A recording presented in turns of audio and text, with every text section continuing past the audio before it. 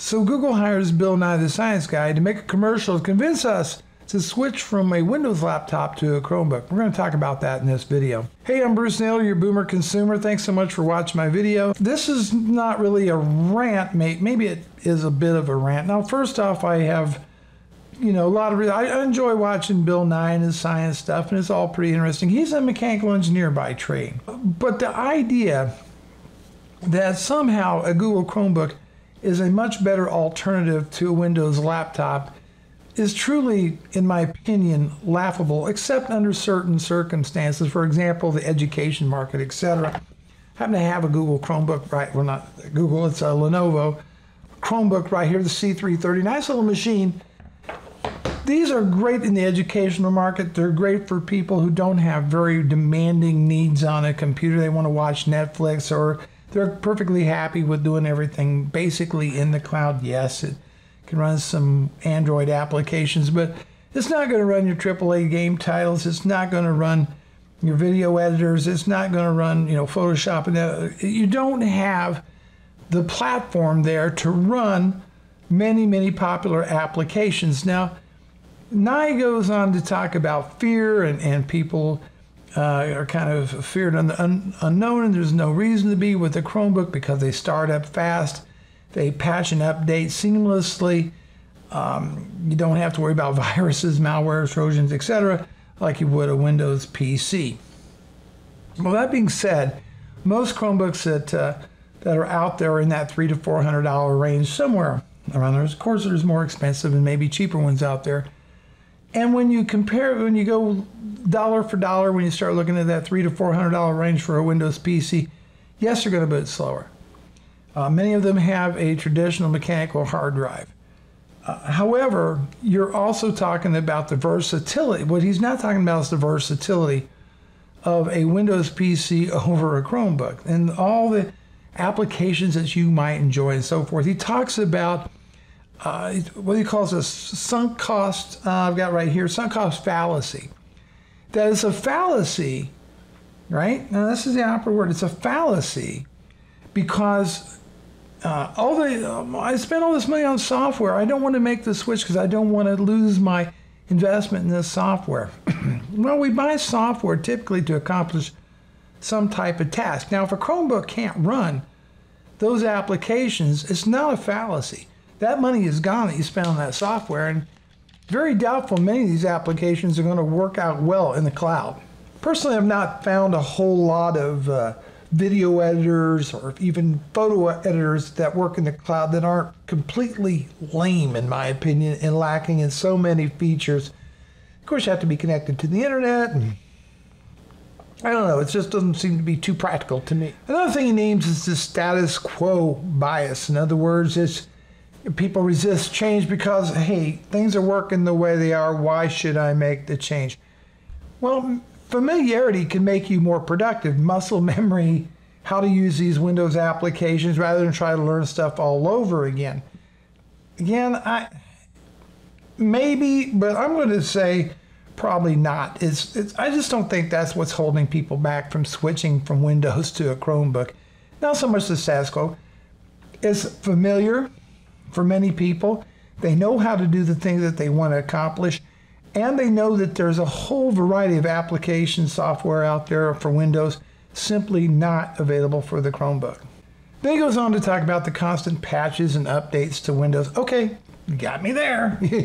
Absolutely, there's always patches, updates, and so forth, and that's been the one of the bane of Windows for many, many years, and I don't see it uh, getting any better any sooner. So, yeah, you got us on that one, Bill. That's a good point. And to reiterate, the slow boot times of a Windows laptop versus a Chromebook is true.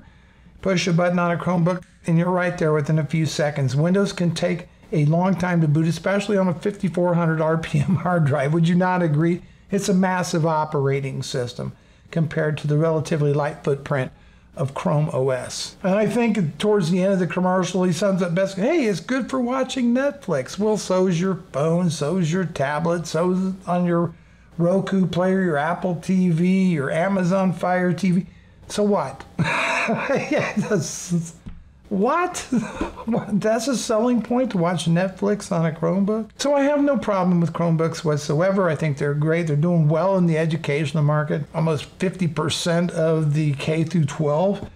However, when you get into the real world of adulthood, uh, the market share for Chromebooks drops down dramatically. I don't know. I, I, I tried researching it.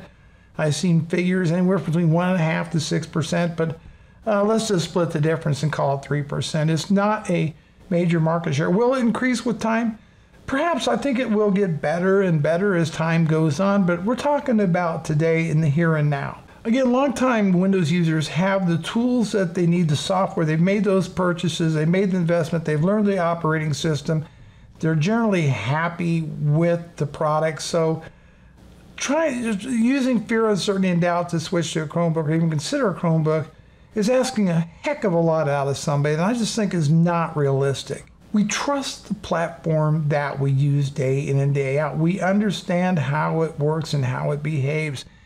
And to interrupt somebody's computing life to make a switch for no tangible, real benefit, because last time I checked, uh, Windows can run Chrome just fine. And you can do Gmail and Google Docs and Calendar and all in your web browser, all running on your Windows PC. Might as well forget gaming for the most part, just not happening on a Chrome.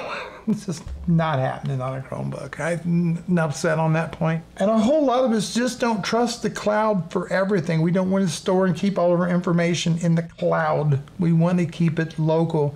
We want backups on hard drives, etc. Or NAS, what have you. We don't want everything in the cloud.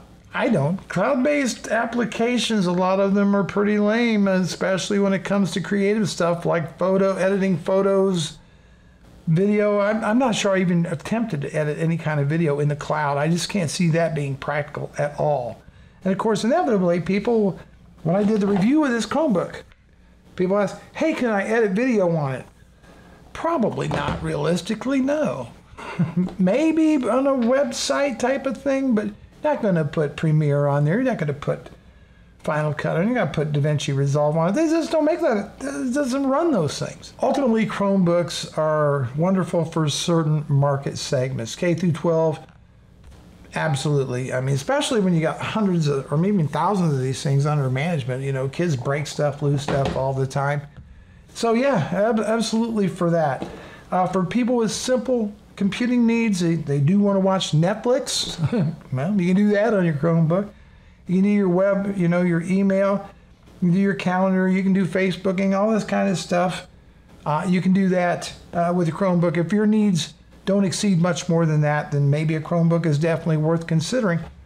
Especially if you got somebody that's maybe not too tech savvy and they don't really care uh, to have, you know, AAA titles. They don't want to you know, the Photoshops, and they don't want the more heavy duty full applications that you uh, might require, uh, fine. Then a Chromebook's going to be great for that market. And maybe, and I'm sure it's going to continue to get better, and Google will invest more money into it, and it'll probably change and evolve over time. But as it, as, as it is now, Bill Nye, you're just barking up the wrong tree here. I don't, I don't think your ad is going to be effective I think most people will just blow it off. But that's my opinion, and I'd like to hear yours in the comments down below. Bruce Naylor, the Boomer Consumer. Until the next one, everybody.